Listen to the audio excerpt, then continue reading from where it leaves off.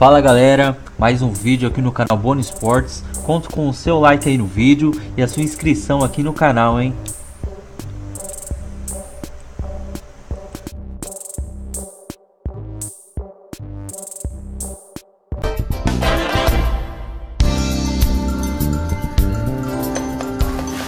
Voltamos e vamos com a lista dos gols mais bonitos. A lista é internacional. Vamos lá? Boa lista, Boa, Boa, boa tá lista. bacana, tá bacana. Gols importantes, Gols importantes, inclusive, decisivos, gols de classificação. Mauro César Pereira. Rubem Neves do Wolverhampton, que vai confirmar sua, seu acesso à Premier League agora, nessa, nessas duas próximas rodadas. Voltará à Premier É League. uma questão de tempo. É. é um time meio ioiô, né? Nos últimos anos. É, chegou a jogar a terceira divisão, né? Caiu da, caiu da primeira para a segunda, foi para a terceira, voltou para a segunda. e Que esse agora é o ano, brinquedinho do Jorge Mendes, né? Do É. poderoso empresário lá Ah, é português, então. O técnico é o Espírito Santo, É, quer dizer, o é técnico dele português, também. jogador português fazendo esse belo gol. Sim. Mas o gol é bonito. mim. Rubem Neves também. Eu também, vou de Rubem Neves. E aí? Eu também. Neves? Paiê? Aí. Como é que tá aí a nossa a nossa parcial? O pessoal tá atualizando lá ainda. né? E a gente coloca já já então a parcial do gol mais bonito. Aí. Será que vai dar Paiê? Não. Vamos lá, podemos colocar? Vamos lá? Vamos lá, vamos ver? Parcial para os nossos fãs de esporte, tá chegando. Atenção, é que é? Vamos lá, vamos ver? Salah, vamos ver? Vamos, amigo? Vamos lá, vamos ver? Agora sim, 40%. Salah, Salah tá com moral. Salah 40%. Que confronto, né? Salah vai rever a Roma. Salah em uma Vamos lá? temporada do. Vamos lá, vamos ver? Vamos lá? Vamos ver? É isso aí? Salah em uma temporada no Liverpool tem mais gols do que em duas pela Roma, hein? E que é isso? Amigos, vamos falar agora de Cruzeiro, de Grêmio e de Corinthians. Eu tô vendo as listas aí, claro, evidentemente, que as listas, muitas colocam o Corinthians, dentro, é o atual campeão brasileiro, ganhou o Campeonato Paulista e tudo, o pessoal está colocando o Corinthians na lista dos favoritos ao título. Mas colocar o Corinthians hoje na lista de favorito ao título, ou de favoritos ao título, né, uma lista, é, condiz com a realidade realmente do Corinthians em termos de elenco, em termos do que apresentou até agora? Ou tem muito a ver com o que aconteceu ano passado? Olha, fala assim, ó, ah, não vou, eu não vou, não vou tirar o Corinthians dessa não por tudo que fez o ano passado, embora o elenco seja mais frágil, embora o Corinthians não tenha nove, embora o Carilli tenha falado conosco na segunda-feira de manhã no bate-bola Bom Dia, olha, ainda não achei, não achei o time ainda. Esse momento ainda não aconteceu. Tem mais a ver com a realidade ou tem mais a ver com o passado recente que está vivo ainda? Pra mim, ainda com a realidade. Eu acho que. Vamos pegar os três times, vai? Cruzeiro, Grêmio e Corinthians. Ah, É. o pior elenco é do Corinthians, é o do Corinthians. É. Qual dos três perde pouquíssimos pontos em casa? O Corinthians. Desses três. Perde menos pontos em casa? Corinthians. Campeonato Brasileiro, regra número um: perder o menos possível em casa. O Corinthians perde muito pouco em casa, seja com o time que for. Até com esse time mais fraco desse ano. Foi campeão. Bem, perdeu em casa a final para o Palmeiras e depois ganhou fora, verdade. Mas ao longo do campeonato foi, foi fazendo a sua campanha, ganhando jogos e perdendo um pouco em casa. Perdeu acho que um jogo, né? Talvez para Santo André, São Bento. É, apesar né? que esse ano, é, esse ano o Corinthians já, já deixou alguns que- pontinhos ali sim, em casa. mas né? acho que é, é muito forte. Foi muito forte ano passado, sempre é muito forte em casa. Então, Inclusive é- perdeu a o, o Palmeiras, o primeiro jogo, perdeu em casa. Sim, mas esse é um ponto. Mas, assim, falando desde o ano passado até Tá. esse ano, perde muito pouco em casa. Acho que o- ter um estádio como o do Corinthians, que sempre enche como o do Corinthians, com a pressão que tem, eu acho que é. é esse- um time que tem um negócio desse já começa bem na frente dos outros. De todos os outros que não tem tanta força em casa assim. E o Corinthians talvez seja tenha o melhor desempenho ou um dos melhores. Um ponto. Dois pontos. Toma muito poucos gols. Pode ser com o time que for, toma pouco gol o time do Corinthians. Faz tempo, né? Faz muito tempo que toma pouco gol. Inclusive nesse campeonato toma poucos gols. É, você tomar poucos gols significa que você vai possivelmente é, colher alguns pontos preciosos fora de casa. Que para mim é a segunda regra importante para um campeonato de pontos corridos. Então eu acho que o elenco pode ser mais fraco, mas acho que o conjunto do Corinthians é muito forte ainda, fortíssimo. É, tem reforço chegando aí, Roger, que é o centroavante que o Corinthians talvez precisasse, né? Estava sem centroavante. Pode ter um ou outro reforço. É, e, e nem vou falar assim, ah, não dá para duvidar do Corinthians, porque no ano passado, nem, não vou nem falar isso. Estou falando do- do- dos pontos que eu acho importantes para um, pra um, um campeonato de pontos corridos. Para esses, esses dois são fundamentais. Perder muito pouco em casa e ter uma defesa muito forte. Para mim são, são as duas coisas principais que um time precisa ter. O Corinthians tem tudo isso. Então eu acho que é, é, não, não deixa, não tem nada a dever para esses dois que a gente está falando que sobre os favoritos, né? Pode ser que os outros jogam mais, jogam mais legal, ah, o Grêmio joga um futebol interessante, ah, o Cruzeiro do Mano, não sei o quê. Mas o Corinthians tem essas coisas que esses outros não têm e não demonstraram ter é, no ano passado e nem, nem, nem muito, nem, e nem mesmo esse ano ainda. Eu concordo com tudo que o Tironi falou e são ótimas observações. Mas discorda de não, não, alguma não discordo não. Mas sabe por que que a gente fala tudo isso? É. Porque a gente morre de medo de quebrar a cara de novo. Hoje a gente morre de medo de falar que o é a Corinthians não tá no bolo. Essa é a Não tá no pergunta. bolo. Porque é um time que tantas, tantos títulos ganhou nos últimos anos sem parecer que ia ganhar, que acho que a gente não se permite mais, antes do começo do campeonato, não colocar o Corinthians numa lista. É que eu acho que agora parece que vai ganhar. Eu acho que agora já não é mais surpresa. Você acha que esse Não, time pa- parece? parece que vai ganhar. Eu quero dizer o seguinte: não dá mais para você se surpreender que não vai. Por quê? Qual a razão? Porque fala, ah, não, o Corinthians não vai esse ano. Baseado em quê? Se o ano passado fez o que fez, se esse ano está fazendo o que está fazendo, se continua perdendo pouco em casa, se continua com a defesa muito forte, se continua. É, esse é o meu ponto. É, não estou falando. Para mim não é um receio, ah, não, não posso falar contra o Corinthians, porque o Corinthians é capaz de tudo. Não, o Corinthians tem feito concretamente essas coisas. Tem tomado poucos gols, tem perdido pouco ponto em casa. Isso, esses dois pontos, para mim, são, são muito importantes no campeonato por pontos corridos. Você perde campeonato por pontos corridos, como o Palmeiras perdeu ano passado. Ah, precisa ganhar do Vitória, perde em casa. Ah, não pode perder ponto, não sei o quê, perde. É, é assim. Na reta ali antes do jogo contra o Corinthians perdeu pro Pois é. pontos para o Cruzeiro, por pontos, o jogo. Campeonato por pontos corridos, o Cruzeiro, que lá que foi bicampeão, ah, perdeu todos os confrontos é, entre ali, só que ganhou todos os outros pontos que não podia perder. Ganhou do Figueirense, ganhou não sei quem, todo mundo estava para baixo da tabela. Esses pontos não pode perder, o Corinthians perde muito pouco esses pontos. Fala, Bertozzi, conclui. Não, é isso, é, é- Porque assim, no final das contas, quem decide jogos são os jogadores, né? Então todo milagre tem limite, né? Então, por mais que. Eu, eu falo do. Eu, eu, eu não descarto o Corinthians só porque é o Corinthians mesmo. Porque racionalmente, você olha o elenco, cara, esse- não é possível. Em alguma hora esse, esses pior limites. do que do ano Em passado. alguma hora esses É limites vão aparecer, passado. né? Pô, você não tem o Gil, você não tem. Você não tem o Gil, você tem o Roger, cara.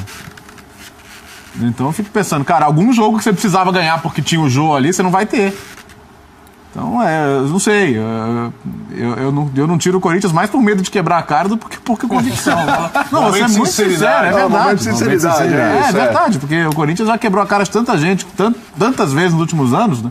É um clube que se acostumou tanto a ganhar que você nunca descarta.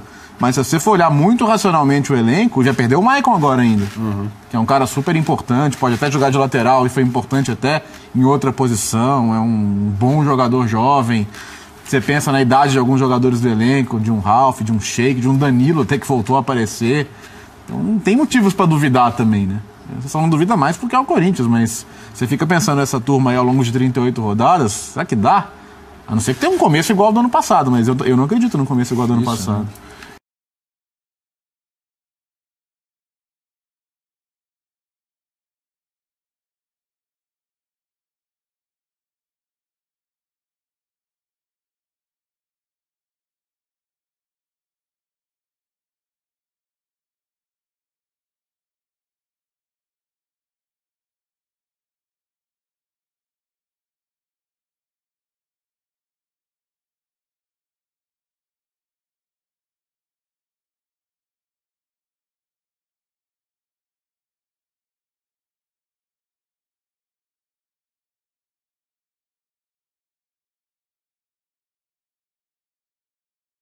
Pouco provável. Não deixaria ele. O, o Jean que gosta de falar em prateleiras, adora falar isso? Sim, sim. Prateleira dos favoritos, prateleira da Libertadores. prate- O Corinthians pra mim não estaria na prateleira dos favoritos ao título. Tá. Grêmio e Cruzeiro estão pra você nessa prateleira, Mauro? O Grêmio depende do, do nível de envolvimento, né? Se vai começar de novo a poupar o time inteiro para jogar os mata-mata ou se vai priorizar a Série A. Eu acho que para o Grêmio ser campeão brasileiro seria o mais importante do que qualquer outro campeonato, até porque não ganha desde 96, é muito tempo, né? são 22 anos sem ganhar o Campeonato Brasileiro. Ganhou a Libertadores esse ano, que passou, então brigar pelo título da Série A acho que deveria ser a prioridade do Grêmio. O Grêmio ganhou a Copa do Brasil, o Grêmio saiu da fila da Libertadores. 15 anos né? sem ganhar nada fora do Rio Grande do Sul. Exatamente. Ganhou, saiu da fila do, do, do estadual, tá quebrando tudo. Isso, falta o brasileiro. Brasileiro. E o Inter não ganha desde 79, até para É. pisar um pouco mais no rival que está por baixo nesse momento, né? é, ganhar o título brasileiro deveria ser prioridade, mas só saberemos disso mais adiante quando o Renato definir os relacionados para um jogo aqui, outro ali, semanas de Libertadores, esse tipo de coisa. O Cruzeiro é um caso um pouco diferente. O Cruzeiro não produz um futebol tão convincente. Aliás, o Cruzeiro foi campeão mineiro agora, tomando 3 a 0 do Atlético no, no, no- outro, e marcou um golzinho, e depois teve a vantagem que o seu Otero conseguiu ser expulso com 21 minutos de jogo. Aí mudou tudo. Se o Otero não é expulso, eu não sei se o Cruzeiro teria sido campeão, não. Muito- acho, que- acho, que não ia, acho que não ia levantar essa taça. O Atlético tinha uma condição muito boa, mas com um homem a menos durante é, é, mais de três quartos do jogo. Né? 75% do tempo pra- praticamente com um homem, mais até com um homem a menos, aí é difícil, né? O Atlético não suportou. Já perdia por um gol, tomou o segundo, não tem força para buscar. É, mas ah, ganhou a Copa do Brasil da mesma forma, jogou os dois jogos para empatar sabia que ia levar nos pênaltis porque tinha um adversário que jogava, entre aspas, sem goleiro. Né? E levou. Perfeito. Mas o Cruzeiro, tirando os jogos contra os coitadinhos lá do Campeonato Mineiro, os timinhos pequenos, eu não vejo o Cruzeiro produzindo tanto. Teve até um bom final de Campeonato Brasileiro, porque já era campeão da Copa do Brasil e não tinha o que fazer no campeonato. Jogou mais leve, aí melhorou o rendimento, mas em nenhum momento desafiou o Corinthians, em nenhum momento sonhou em brigar pelo título brasileiro. Foi um brasileirão apático ali, uma coisa, sabe, sem nenhum brilho, sem nenhuma emoção. E a Copa do Brasil transformou isso tudo. Mudou a percepção do Cruzeiro. Eu acho que com, com o que jogou até aqui, nessa fase com o Mano Menezes, não acho que o Cruzeiro tenha apresentado futebol que justifique um favoritismo. Tem um bom elenco. Agora, vai depender se o time vai melhorar a sua produção, se o futebol vai crescer, se o time vai conseguir eh, apresentar mais. O que apresentou até aqui, eu acho que é pouco. Acho que o Mano Menezes tem que apresentar mais com o elenco que ele tem. Porque foram dada- dadas a ele boas condições. O elenco do ano passado já era bom. Contratou alguns jogadores. Alguns eu questiono. Acho que alguns super. Bruno Silva, Edil, eh, Egídio, aliás, eh, dispensado pelo, pelo Palmeiras. Edilson, bom lateral e tal, mas menos. Eu acho, que, eu acho que o que tinha lá no ano passado é melhor do que o que chegou agora, para 2018. Já dá para fazer algo melhor. Mas o futebol que o Cruzeiro ah, apresenta em geral, não, acho que não é tanto quanto o elenco pode apresentar. E acho que é um problema do seu Mano Menezes. O benefício do título de domingo foi chutar a crise para longe, né? Sim? Aquela crise que estava ali batendo na porta, rondando. Libertadores É, complicado. a, a questão da Libertadores, é, ela influencia também no brasileiro do Cruzeiro. Por quê? Sim. Vai pro Chile agora. Pega a Universidade do Chile. A gente escreveu esse cenário aqui no dia do Cruzeiro e Vasco. Você pode ter um cenário de derrota para Cruzeiro e para Vasco, em que os dois fiquem com um ponto e Universidade do Chile e, e Racing vão para sete. Aí pode até dar, mas você tem seis pontos para tirar em um turno. É, pode acontecer. E aí qual que é o impacto? É, se acontecer, não acho que vai acontecer, mas se acontecer, é, você junta forças aqui pro brasileiro ou é um desastre, vai todo mundo embora, ah, mudar o técnico, tem que ver como é que vai lidar com isso, caso isso aconteça. O Cruzeiro tem quatro, quatro jogos com grandes nas primeiras quatro rodadas, né? Já começa pelo Grêmio em casa amanhã, então já é esse grande confronto, né, de dois favoritos ao título. Melhor jogo do brasileiro do ano passado. Pois É, foi aquele 3x3, né? Começando o É, campeonato. exato. Então, ah, eles normalmente fazem grandes jogos, né? Vamos ver como é que vai ser amanhã. Sem o Luan, né? Uma pena pro jogo, porque seria uma atração a mais aí. O Luan não tá 100% fisicamente, o Renato não vai arriscá-lo. Mas ainda assim deve ser um grande jogo. Então vamos ver como é que vai ser essa questão. Porque o, o, o Cruzeiro não, esse ano não montou o time para ser coadjuvante em termos de investimento, em termos de uma nova diretoria chegando e gastando bastante e, e fazendo uma aposta no Fred, que não vai poder jogar esse ano, mas que é, conseguiu criar na torcida um sentimento de vamos ganhar alguma coisa esse ano. Esse ano a gente vai ganhar alguma coisa. E, esse sentimento está se traduzindo em ida ao estádio, em grandes públicos. Então acho que cabe ao time manter essa chama. Né? E acho que um começo de brasileiro bom é, é fundamental para isso, além da questão dos pontos. Né? Só rapidamente voltando ao Corinthians, acho que esse, esse é outro argumento. Acho que o Corinthians, talvez, é, desses favoritos, três, sem contar os outros que a gente falou no primeiro bloco, é o único que, se for eliminado no meio do caminho da Libertadores, aqui, eu acho que não tem terra arrasada. Mas não tem impacto. Acho que não tem. Quer dizer, claro, dependendo da O circunstância. Grêmio teria até arrasado? Também, também talvez não. Só esses Ele dois. é atu- atual Só esses campeão. dois. Todos os Tá outros, fase, né? eliminação na Libertadores ou na Copa do Brasil, pesa muito. Pro Corinthians, não entendo que pese. Aliás, acho que pesa muito pouco. Se, é, o Corinthians tem uma, tem uma questão com, esse, com essa história de ser quarta força, de ser o time que não tem esse elenco, elenco e tal. É, ele não tem a pressão de ganhar. Ele não tem. Não só porque ganhou muita coisa, como não tem perspectiva, assim. A torcida do Corinthians está achando, pô, agora a gente vai ser campeão. Talvez não esteja. Né? Talvez tenha, tenha uma dose ali de realidade e fala, bom, com esse elenco aqui, se a gente chegar até onde chegar, eu acho que é muito forte, eu acho que dá para chegar. Acho que entra como favorito é, é- é ao campeonato. Mas essa, mas essa pressão, não existe essa pressão lá dentro. Ou esse ano a gente tem que ganhar. Não, tá ganhando todo ano. É diferente do Palmeiras, é diferente do Cruzeiro, que embora tenha ganhado, até pelos investimentos que fez, é diferente do, do, do- do Flamengo. E é diferente até do São Paulo, por incrível que pareça. Porque o São Paulo está com a corda no pescoço na fila. Precisa ganhar desesperadamente. Eu acho que o Corinthians é uma outra vantagem que o Corinthians tem. Não tem pressão nenhuma. É um momento de, de- zero pressão no clube. Mas esse é o ponto. Eu não vejo o Grêmio também com essa pressão. Não, também não. O Grêmio É. também não. Porque Também pela não. fase toda, por tudo que, que, que conquistou, é claro que passar um ano em branco e tudo, para quem está acostumado com títulos, mas eu acho que tem uma tolerância. E a relação Assim, do Renato. a- o acho que talvez a diferença, e eu acho que também. no Sobra mais acho que Cruzeiro, também né, O Grêmio não tem pressão, mas acho que a, o sentimento do corintiano é: a gente fez além do que a gente poderia. Foi campeão brasileiro, sei lá como, campeão paulista, tarará. O Grêmio tem a sensação de, se a gente se tivesse se dedicado ao brasileiro, a gente teria faturado esse brasileiro. É que a gente largou para ganhar a Libertadores. Tem, tem esse detalhe, né? Do Corinthians, sabe que está jogando sempre no limite. Dos outros, você acha que pode é, sair mais do que, do que tem saído. né? E aí sobra pro Mano, então, a história. O Mano é o mais pressionado deles. Ah, é. O mano dos três, É, dos sem três técnicos, é o que não tem nem brasileiro nem Libertadores no currículo.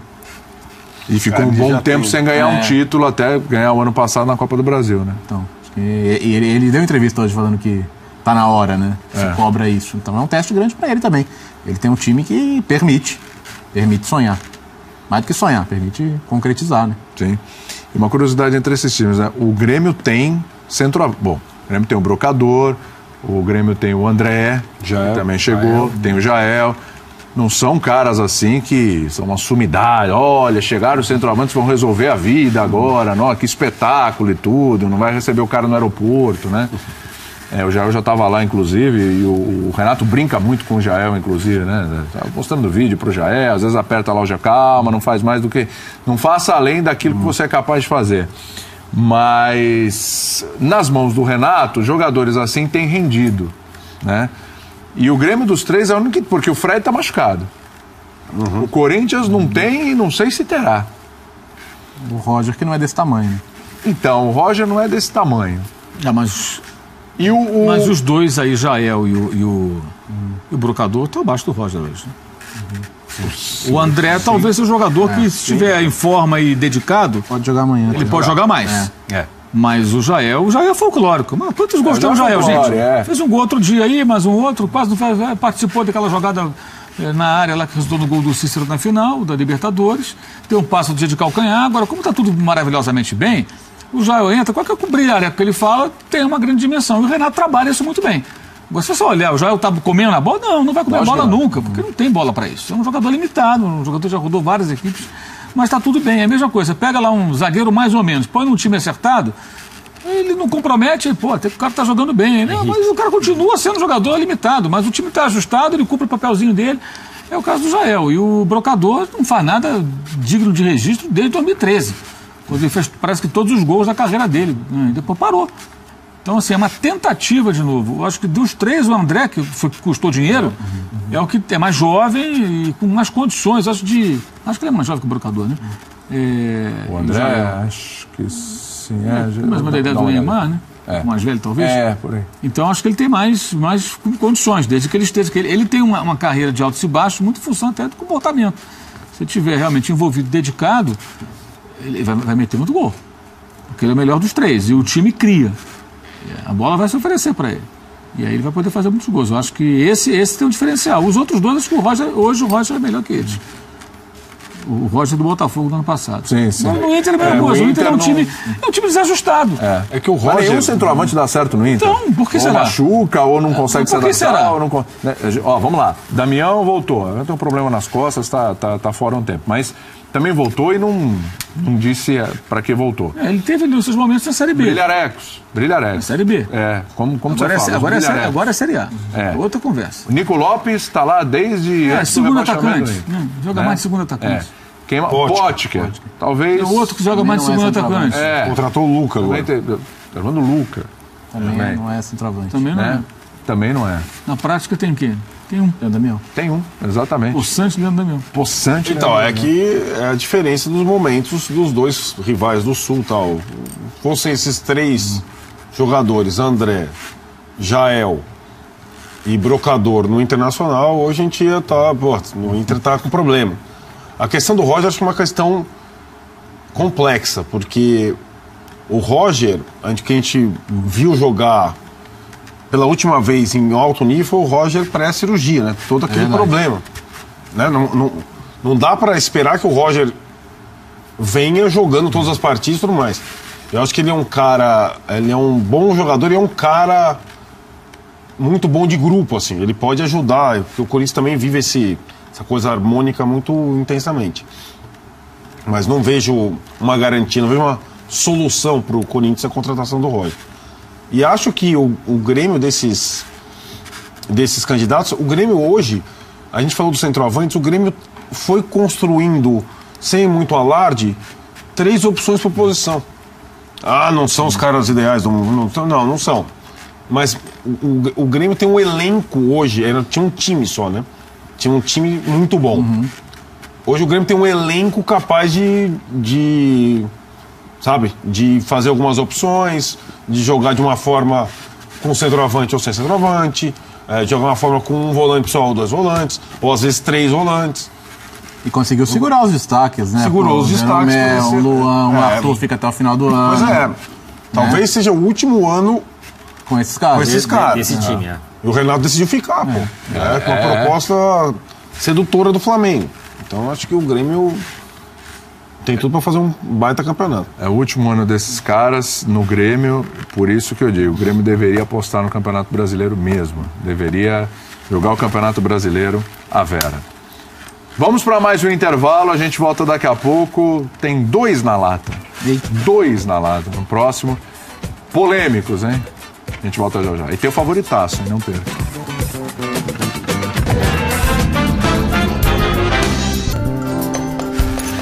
Voltamos com o nosso linha de passe sagrado de toda sexta. Hora do favorito. Hora do favorito, mágico. do favoritaço. Muito mágico. Vamos lá com o nosso na lata, hein? O favoritaço. Bando de filha da mãe. Favoritaço. Favoritaço. Ainda mais fanho agora. Ao título do Brasil. Eu não Mas- diria. Eu não diria favoritaço. Estou acreditando no pragmatismo. Cruzeiro. Pragmatismo. Mas o time vai evoluir. O time vai jogar mais. Então a minha opção é Cruzeiro. Você já foi voltando assim? É, de sem- cara, sem mudou, cerimônia. é comigo aqui, sem E cerimônia. assim, Arna... Esse é o momento. A gente vai Não, pular o é, Arnaldo. não, ele não, não, que último, o viu? último. é lógico. É possível, produção? A gente pular o Arnaldo nesse momento? É possível? Produção, tá são produção. produção. Hã? Não mais, não mais. Então é o seguinte. É, porque depois, é porque depois de Arnaldo Ribeiro, né? É, e qual é a graça? Atenção para esse momento. Dá para fechar só no. Arnaldo? Dá para fechar só no Arnaldo? Porque tá o, o Arnaldo e o, e, e o Bertozzi. Dá para fechar só no Arnaldo Ribeiro? Vamos dar um posicionamento ali. Imaginando né? o cara na sala de casa de joelho, assim. O time não, pelo amor de Deus. É todo mundo de mão dada na Mandado sala. na sala. Pessoal de mão dada na sala. Acendendo vela, batendo tambor. Para o bem ou para o mal, é hora do favoritaço de Arnaldo Ribeiro. Atenção, favoritaço. Sexta-feira 13. Sexta-feira 13, amigo, ainda tem essa. Vai, Arnaldo. Palmeiras. Que isso. De novo você aposta Uai, no Palmeiras, cada né? ano tem mais investimento. Palmeiras já é elenco. tri, hein? É. Uai, mas passou ali, né? uma Copa do Brasil, um brasileiro, Ouço rojões, né? Na rua, das ruas. de, de anti-palmeirense. Vai. Não, aqui é o bairro de palmeirense. Arena Corinthians em Polvorosa, ele é a região da Arena Corinthians agora em Polvorosa. Tem um treino aberto. Treino aberto. Treino aberto em Itaquera nesse momento. Sério. Sério. É, é. Tá, daqui a pouco você Embasado, claro, evidente. Embasado. Vai embasar daqui a pouquinho. Tirone, seu favorito. Favoritaço é uma marca registrada do caso, só seu favorito. Apenas favorito. Corinthians. Pô, tá convicto, não Tá tá? convicto demais no Corinthians, negócio impressionante. Bertozzi, Grêmio. Grêmio, ok? Olha lá, hein? E aí, Mauro? Paraná. Por que você tá rindo? O Vitor Ivanovski. Você passando foi o Havaí. Agora o Paraná. Acaba de Então- matar o A Então vai te procura, pegar. a Mauro, Paraná. a procura de um Lester brasileiro. Ah, é, garoto. É. Então vai te pegar, hein, depois. Mas é, o Havaí ano passado. Feliz, a gente pôs o Paraná. Apoiando o Paraná. No debate, a gente pôs o Paraná em último. Paraná te agrediu ali. Paraná me abraça. Paraná te abraça. O Vitor chora essa altura de emoção. Paraná te abraça. Nunca alguém apresentou o Paraná como favorito. Não, brasileiro. não. Você Sou o nunca primeiro Campeonato Brasileiro comentar Série A, não. Verdade, Eu verdade. confio no Paraná. Parabéns. Aliás, detentor do rec- recorde de público da Arena da Baixada. Olha lá. Ó, Não é o Atlético, é o também. Paraná. Tá É verdade. É verdade, é mesmo. Outro internacional ano passado. mesmo. Quero ver segurar essa força.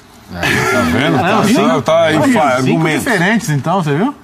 Cinco diferentes. Então vamos lá, Arnaldo. Depois eu quero ver o Tirone na sequência, porque, olha, Rafael Freitas, meu Deus, Arnaldo, não, não. É. Explica aí, Arnaldo. Ah, eu, eu- o Campeonato Brasileiro de Pontos Corridos ex- exige, é, sobretudo, qualidade no elenco e várias opções. Uma maratona de 38 rodadas e tudo mais. E o Palmeiras vem. Eu, eu entendo que esse tipo de time, com esse tipo de investimento, no mínimo se classifica para Libertadores. Vai botar um cone no comando. E mais ou menos foi o Palmeiras do ano passado. Cuca era um cone? Não, o- foram cones. né? Cone. Não, parece. Tô tentando. Calma, tô tentando falar sério.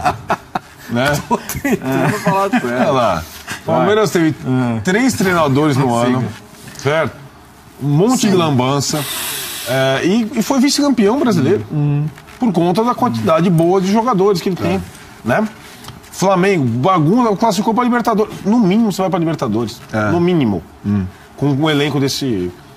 Se o Flamengo, se o Palmeiras não for Libertadores nesse brasileiro, não, sei lá o que futebol pode, você pode ter uma coisa fora da curva que supere o Palmeiras na briga pelo título, como foi o Corinthians no ano passado. Desempenho fora da curva. Agora o Palmeiras com mando que ele tem, costuma ir bem, com esse, essa quantidade de bons jogadores, no mínimo ele está entre os quatro. No mínimo, de novo, pode ser governado por um cone. E acho que com o aprendizado do ano passado, com algumas lições já deste ano, e com a consciência de que o melhor caminho para o time chegar a um título esse ano é via pontos corridos, pelo tipo de investimento feito, eu acho que o Palmeiras é mais favoritaço do que foi nas temporadas anteriores. Muito bem.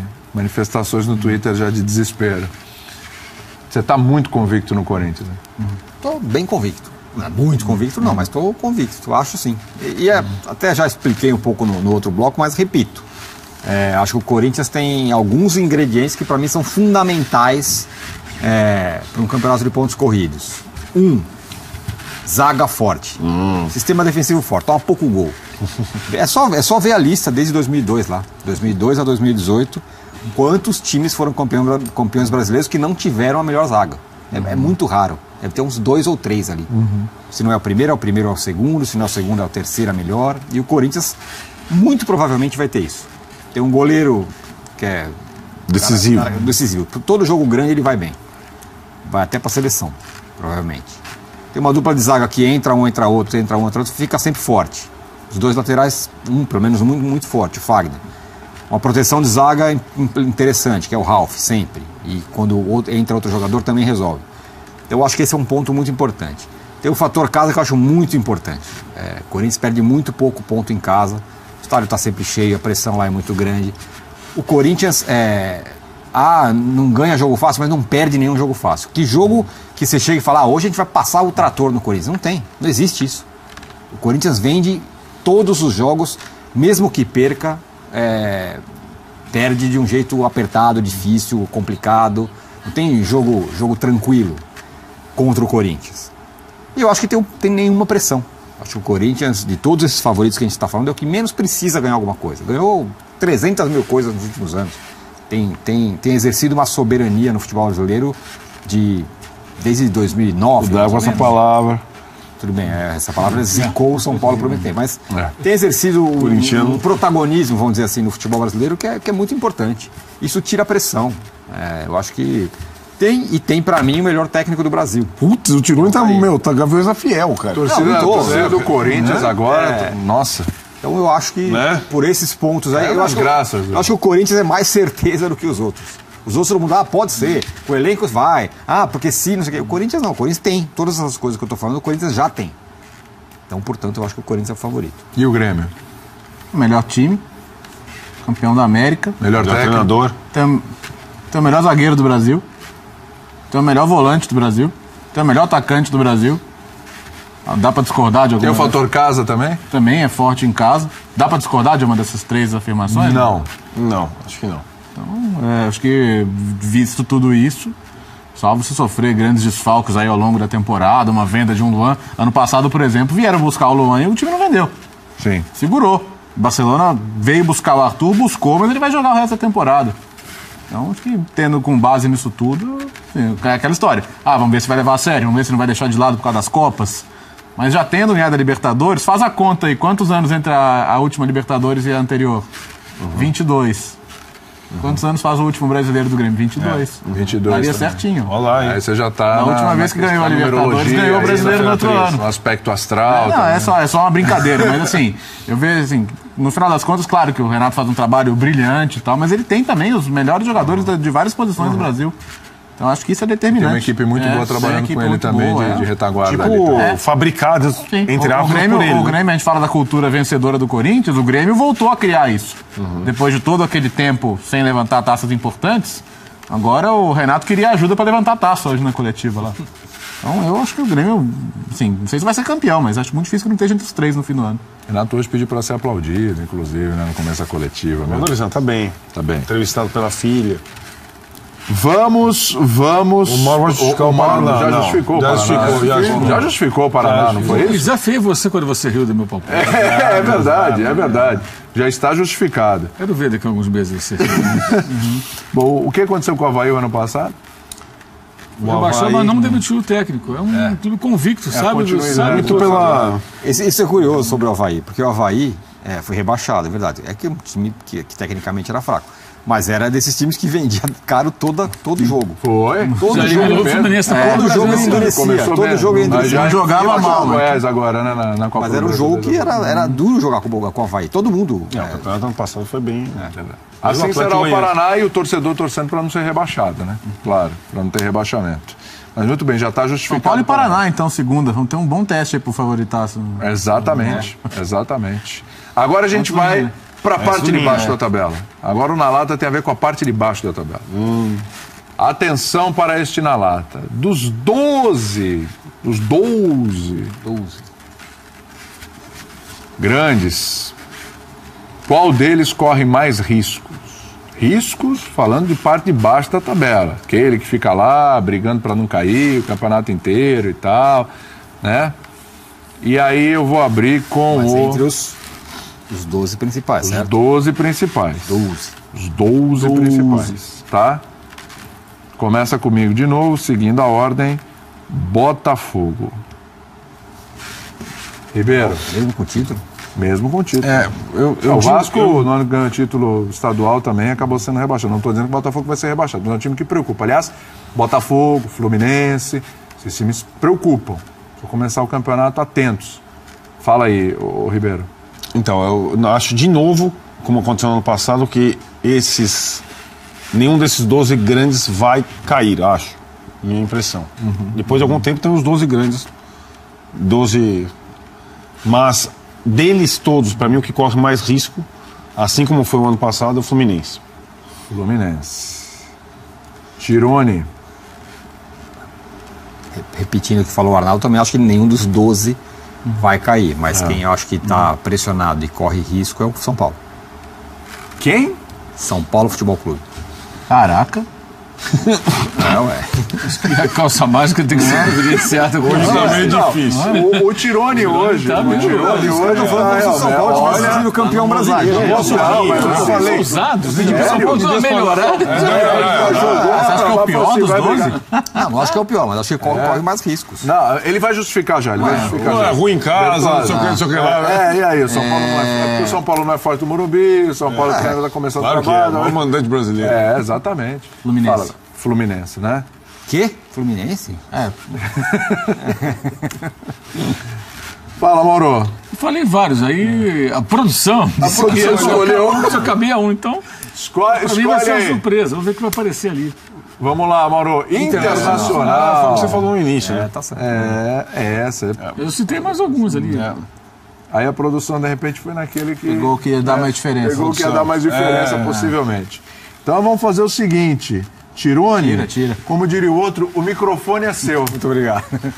Não, assim, o São Paulo. Brigar é, pra não cair de novo. Eu acho que, falei, repito, eu acho que nenhum desses, desses 12 principais vai cair. Eu também acho que não, Acho que não, vai cair. Vai cair. acho que tem times que É. mais frágeis que devem cair, que devem brigar para não cair. Mas, desses 12 times, eu acho que o São Paulo é, é, é- é aquele que é, menos demonstrou que, que, que pode ter um ano muito diferente do que foi o ano passado. Nós estamos falando do quê? De um trabalho do Aguirre que começou agora. Que, ah, de fato é bom? Sim. Melhorou. Teve alguns jogos bons, teve vários jogos bons, né?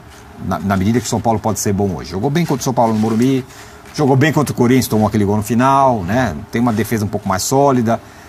Perdeu o Atlético Paranaense, pode ser eliminado quinta-feira que vem, pode já não ter mais Copa do Brasil no, no caminho, vai ficar só com o brasileiro, né? É... E assim, é... o São Paulo está iniciando um, um trabalho agora, então não dá para dizer que ah, é certeza que está no caminho certo. Essa, esse, esse risco do São Paulo de uma hora para outra perder três ou quatro caras e, e ainda existe. Sim. Já estão falando em Militão, tudo bem, até estão falando que pode estar perto da renovação. Mas já tem gente de olho no Militão, já tem time de olho no, no Lisieiro. é, agora, enfim, contratou o Everton, que também ninguém sabe se vai funcionar.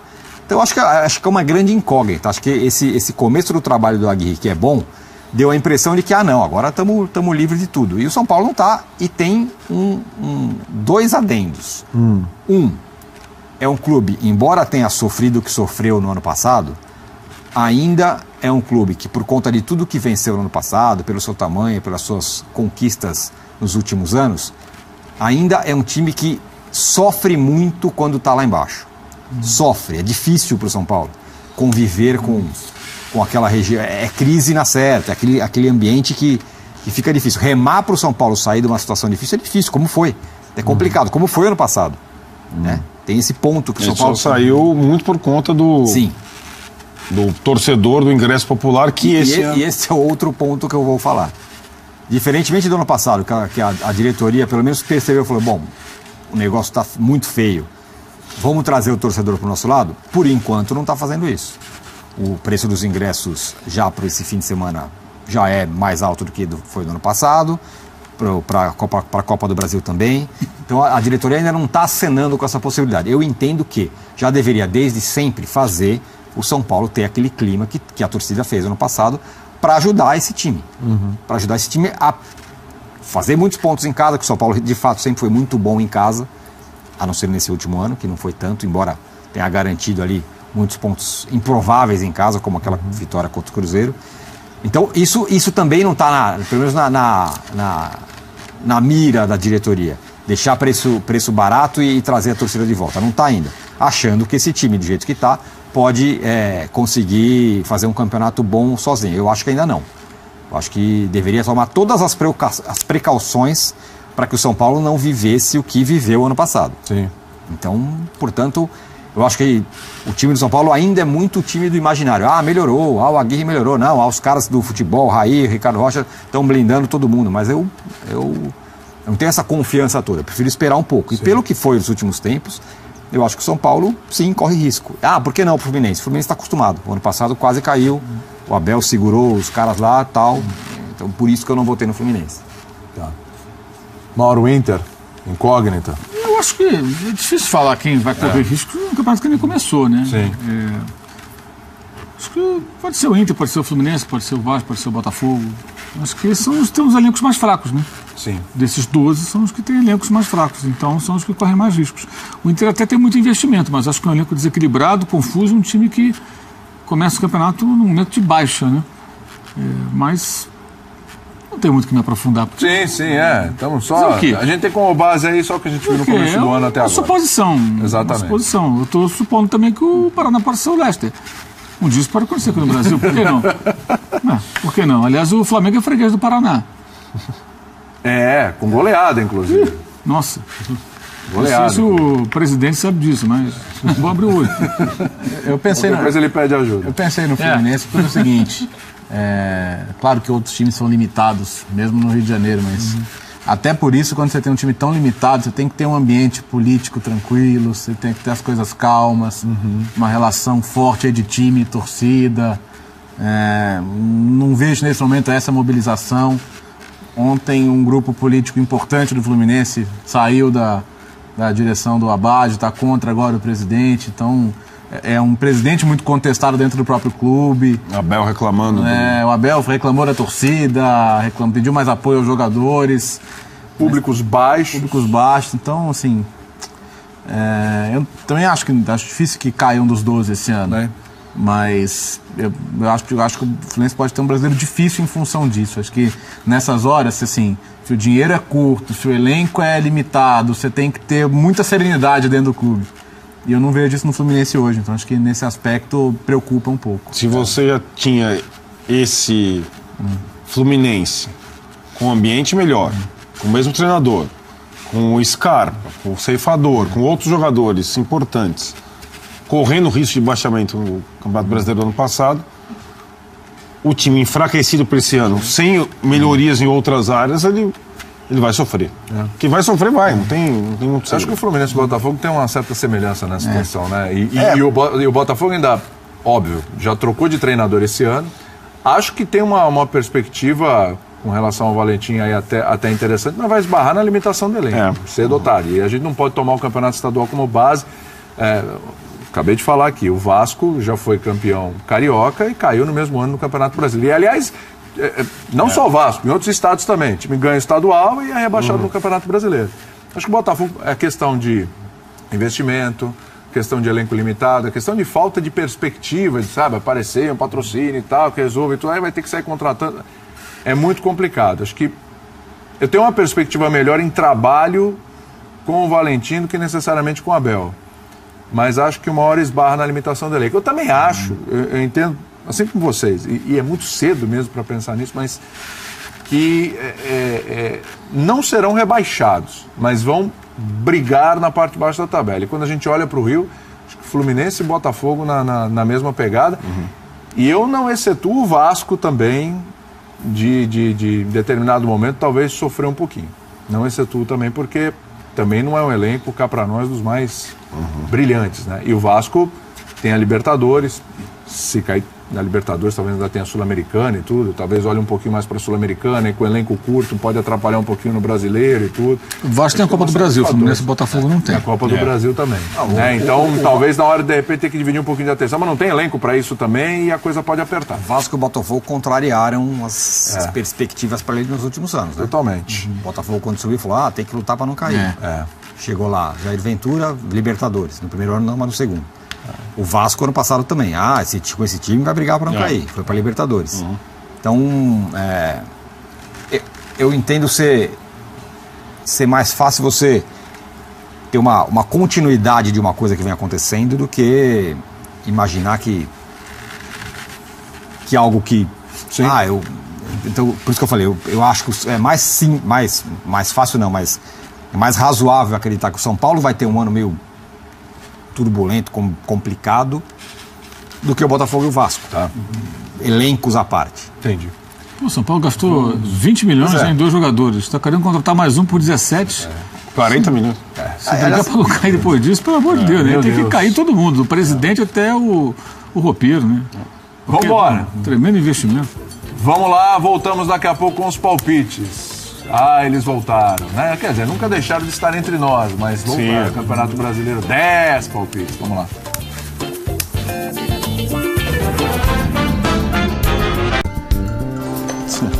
Voltando com linha de passe, hora dos palpites.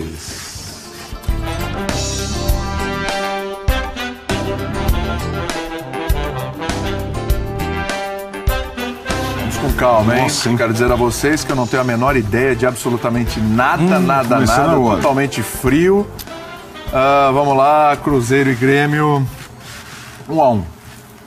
Também, um a um. Aí a gente dá aquela murada. Já começa muretando por isso. Vai, tira, você que tá a ousado hoje. 1 a 0 1 a 0 Bertozzi, Repetindo grandes momentos do confronto, 3x3. ótimo. Esse aí já é o bailarino. 1x2. 1 a 2 Não, salvando. Tem print. Salva o print. Faltando um Por que, que amarelinho o amarelo ali não aparece ali no 1x0? Agora é É, uma. pois é, né? O Churano tá muito enigmático hoje. né? Consegue manipular até o painel. Ah, agora apareceu, hein? Boa. Cadeira, hein, Painel. ó. É, exatamente. Painel Se lá eletrônico. em Brasília eu queria ver. Lá tem história de painel, né? Ah, é, tem, tem. Forte. Vamos pro segundo palpite. Vitória e Flamengo. 1 a 2 Sem Os muro. Williams, você tá roubando meus, minhas ideias. Um a dois também. Prometo que eu mudo no próximo. Tirone, 1 a 1 Bertozzi. 2x3. Bertozzi tá audacioso. Média boa pra começar. Boa, legal. Maurão, Então a vitória do time local pela contagem mínima. 1 a 0 Muito bem. Sempre cumprindo meu dever social. Tem bate-bola amanhã, após o jogo Grêmio Cruzeiro, tem um outro bate-bola após Vitória e Flamengo, tá? Bate-bola na cobertura dos- desses dois jogos aí. Terceiro, vamos lá. Santos e Ceará, 2 a 0 para o Santos. 1 a 0 Santos. Papendu, hein? 1 a 0 Santos. Sport Center depois, né? Exato. Tem cobertura de todos os jogos ali. Você falou 1 a 0 Santos? 1 a 0 Santos. Então tá bom. 1 a 0 é o palpite do Tirone. E o Bertozzi? 3x1. 3 a 1 hein? Mauro salvando o print do É Ceará. virada cearense 2x1. 2 a 1 Então 1 a 2 1 a 2 ali. Palpite do Mauro. Agradeço a minha presença aqui para acabar com as obviedades desse palpite. Evidente, evidente. Eu vou te contar, pô, vocês só vão no, no óbvio. Evidente. Menos o Tirone que. Não, o Tirone do- tá sem a calça mágica, eu tenho incontrolável aqui. né? Fugiu. Coisa... Tá meio estranho até. É, sério. Tá, tá Essa outra calça aí, acho que essa é pior que a calça Isso mágica. aí é o dia do beijo que mexeu com o. É, rapaz. América Esporte. O América era outro possível favoritaço também. Também. Então vamos cravar um 1 a 0 pro América. Estreia com vitória. Isso, 1 a 0 1 a 0 Isso. Um tento a um. Um tento a um é o palpite do Arnaldo. Tirone, 2 a 1 2 a 1 Vai, Bertozzi. 2x0 para o Coelho. Muito bem. E de quanto vai ser a vitória do esporte, Mauro? Olha, quando eu vejo o escudo do esporte, escudo do Recife ali, eu lembro das entrevistas do Vanderlei Luxemburgo e sinto saudade. Tem cada entrevista chata de técnico. Nossa, Então, as do Luxa fazem falta ao futebol, competente ao futebol. Pertence ao futebol. Então, em homenagem a ele, um para o América, três para o esporte. Olha. Olha que, Que boa homem. estreia, hein? Que boa estreia. Não, um a, é. Foi um a Quinto. três, mas estava o. Quinto jogo. Vasco Hum, e bom Atlético. jogo, hein? Isso. 0 a 0 Não. Não. Sim. Bom jogo, 0 a 0 a 0 0 É, pô. É, ele que falou bom jogo. Bom jogo, é 0 a 0 Um a um. 1 a 1 2 a 2 Vai agora, Bertozzi. 3 a 3 hein? 2x2 também. Tá, 2 a 2 é o palpite do Tirone, 2 a 2 o palpite do Bertozzi. Aí você fica à vontade, Mauro. Então, então vamos no bailarino 3x3. 3 a 3 é isso, pronto. Muito bem. Seguindo, sexto jogo. Corinthians e Fluminense. 1 a 0 pro Corinthians. Vamos começar esse, esse clássico de todos os de novo. 1 a 0 para o Corinthians. 1 a 0 para o Corinthians. Que isso, gente. Vai, Bertozzi. 3x1 para o Corinthians. Ô, que isso, hein? Foi o jogo que decidiu o título para o Corinthians na temporada passada. Bertozzi apostou num 3 a 1 para o Corinthians. Tá bailarinando demais o Bertozzi hoje. Era um bom e o Mauro começo. vai no flow, né? 0 a 2 0 a 2. Dois, rapaz. Olha, O jogo do título no passado, não foi? foi então. É, né? É, exatamente. Então é isso também, tem bate-bola pós no domingo. Internacional e Bahia. Final de brasileiro. né? Sim. Putz, é. Guto Ferreira, né? Olha aí. Voltando? 2 a 0 Internacional. 1 a 1 2 a 1 um. Bertozzi. 1 a 2 Ó, Opa, agora ficou tranquilo. Vingança, vontade. vingança de Gordiola, hein? Um homem vingativo. Ele vai a Porto Alegre com sede de vingança. então, em homenagem a ele também, 0 a 1 Muito bem. Olha Vou também o o homem, nosso que homem. simpaticíssimo treinador. Próximo, oitavo jogo da lista. Olha, rapaz, estourando o tempo aqui. Atlético e Chape, Fernando Diniz terá um dia Bem, hein? feliz. 1 a 0 2 a 0 Furacão. 2 a 0 Furacão. Bertozzi. 3 a 1 Então tá. 2 a 0 Arnaldo, 2 a 0 Tirone, 3 a 1 Bertozzi, Mauro salva a Chape aí, né? É, o Atlético trocará 831 passes, mas perderá pela contagem mínima. 1 a Eu 0 gosto desses detalhes. Primeiro jogo do Diniz da. Série A, né? Sim, sim. Boa vitória pelo Sul-Americano. Próximo, tá acabando. Botafogo e É Palmeiras. segunda, né? Os dois de segundo, né? Isso. Depois linha. 1 a 1 Um tento a um. 1 a 2 Bertozzi. 0 a 2 Opa. Agora, Maurão. 1 a 0 1 a 0 Faltou alguém? Qual que foi o seu, Tironi? Eu fui 0 Tá a 2 certo, O 0 meu a é 2 0 a 2 também. O Bertozzi é 0 a 2 também. Na verdade, o meu era 1 a 2 mas tudo bem. Mas tudo bem, fica o 0 a 2 O 0 a 2 que eu acho é mais justo. Isso. 0 a 2 o, palpite do Bertozzi. Tá chegando. Ema. Tá chegando ali já. hein? Jogo azul tem linha de passe depois, não esqueça. Tá? Já arrumou lá, viu, Tironi? Repita, Mauro, por favor. É, 1 a 0 1 a 0 vitória do Botafogo. Gol do Carly, Gol do Carly. No finalzinho também? possivelmente. Tá bom. E o último jogo da lista é o São Paulo contra o Paraná, também às 8 da noite, na gloriosa segunda-feira. Não, Aí, Mauro, coerência, por favor, coerência. né? Peço, né? Vai ver o que vai acontecer. É uma pessoa coerente. Você vê, o Tirones que o São Paulo é ameaçado de rebaixamento. E, é, então, não, vamos ver a coerência. É. Agora a gente vai ver a coerência é. da mesa. Então vamos lá. 1x0 São Paulo. 1x0 São Paulo. Muito bem. 1x0 São Paulo. Já começa a fazer um treino. Importante na briga contra o rebaixamento, né? Não. Foi incoerente. Foi incoerente. É, é, eu falei rebaixamento. Falei é. quase 4x1. Que isso? Opa! Faz isso Calma aí. acontece E isso o desde- Ivanovski aí? Você não consegue frequentar mais Ah, a depois segunda-feira a gente se entende. Tá bom. Mauro é Terça, agora o né? É, o momento terça, no caso. do seu favorito. É, o placar será 2 para São Paulo, 3 para o Paraná. Ah, vai começar sensacional. Que- Gols caminho do Paraná só no segundo tempo. Muito bem. Vamos para o intervalo, voltamos já.